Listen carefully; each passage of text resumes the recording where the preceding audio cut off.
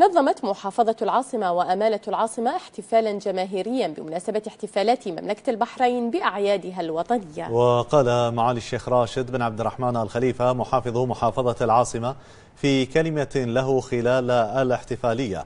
إن تنظيم هذا الاحتفال الوطني يأتي في إطار تبني المبادرات والفعاليات التي تسهم في ترسيخ الحس الوطني لدى جميع من يعيش على أرض مملكة البحرين بما يعكس لوحة جميلة تترجم أرقى مشاعر الانتماء الوطني والاعتزاز بكافة المنجزات والمكتسبات التي حققتها المملكة. وأشاد معالي المحافظ بدعم ومساندة الجهات الحكومية والخاصة تعزيزا لدورها الوطني للشراكة المجتمعية بما يتناسب مع خططها الطموحة في خدمة المجتمع. وضمن الاحتفال الجماهيري الذي أقامته محافظة العاصمة وأمانة العاصمة وشهد حضورا جماهيريا كبيرا زاد سماء المنام بعروض طائرات الدرون الضوئية التي رسمت مجموعة من الشعارات الوطنية والكلمات التي عبرت عن حب الوطن وقدمت أداء فنيا مميزا في سماء منطقة خليج البحرين وصاحب الطائرات عروض الليزر التي أبرزت جمالية اللوحات الفنية. كما قدمت فرقة الأمن العام الموسيقية لوزارة الداخلية عرضا للجماهير الحاضرة.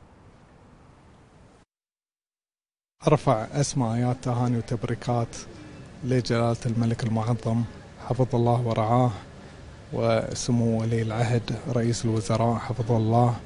بهذه المناسبة الطيبة آه، يعني اليوم محافظة العاصمة شاركت من ضمن الاحتفالات العديدة اللي تشهدها مملكة البحرين خلال خلال الاحتفالات بأعيادها الوطنية المجيدة. آه، أتمنى أن يعني قدمنا شيء جديد وشيء مميز آه، دائما نسعى نقدم شيء يكون يعني في رضا المشاهدين وكل الراغبين بالحضور شخصيا للمشاهدة. فأتمنى أن تكون الفعالية مناسبة وكل تمنياتنا بكل الخير للبحرين إن شاء الله. طبعا هذه المناسبة مناسبة سعيدة على الكل ونحن يعني في مجلس أمانة العاصمة من أعضاء ومنتسبين آه، نهنئ القيادة الرشيدة والحكومة الموقرة والمواطنين والمقيمين بهذه المناسبة السعيدة. أعاد الله علينا بالخير والصحة والسلام. ونحن يعني مملكة مملكة التعايش والسلام والازدهار والتطور إن شاء الله والنمو إلى الجميع.